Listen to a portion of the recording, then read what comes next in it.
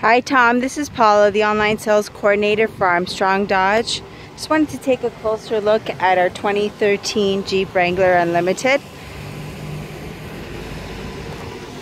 I did notice that there is a little bit of scuffs here on the plastic bumper. And I also noticed just a crack by the fog light down here. Other than that, it is in pretty decent shape, very clean.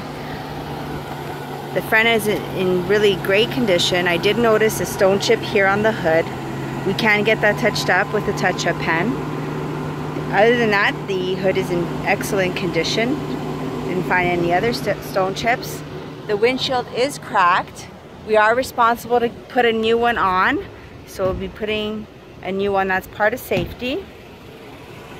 Tire tread is in excellent condition was an older gentleman that owned this vehicle and took really good care of it. Rims are in excellent shape.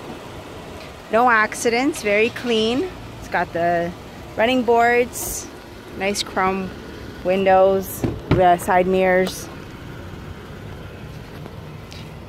The seats are in excellent shape. I didn't find any rips, tears, or burns. Vehicle smells clean. Does have its owner guides. It looks like he kept the original window sticker.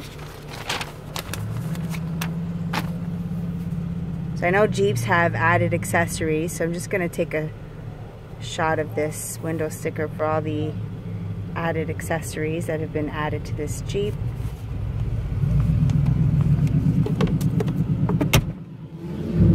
Very clean Freedom top, matching color. It's a hard top. These two panels come out. Take the whole roof off. Very nice and clean. Rear seats are also in excellent condition. Looks like nobody's ever used the back seats. They, they do fold down, giving you extra cargo space if needed.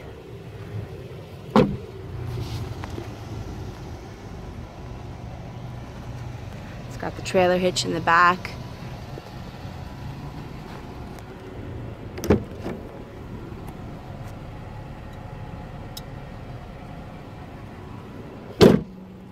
Chrome protector for your lights, chrome gas cover.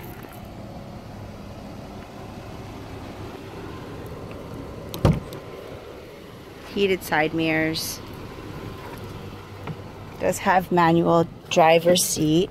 It's got power windows, which is great. They work well both sides. Here's a glance at the steering wheel.